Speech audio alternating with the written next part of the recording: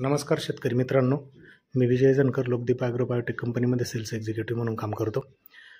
चालू वर्षाच्या हंगामात द्राक्षामध्ये आपल्याला चालू वर्षी डावणीचा खूप मोठा प्रादुर्भाव दिसतो.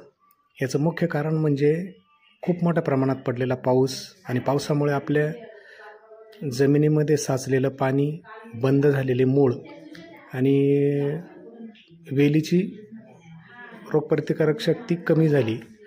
त्यामुळे जमिनीमधील एन पी केचं प्रमाण पाण्याबरोबर वाहून गेलं आहे कुठल्याही अन्नद्रव्याचं स्टोरेज आपल्या जमिनीमध्ये राहिलं नाही.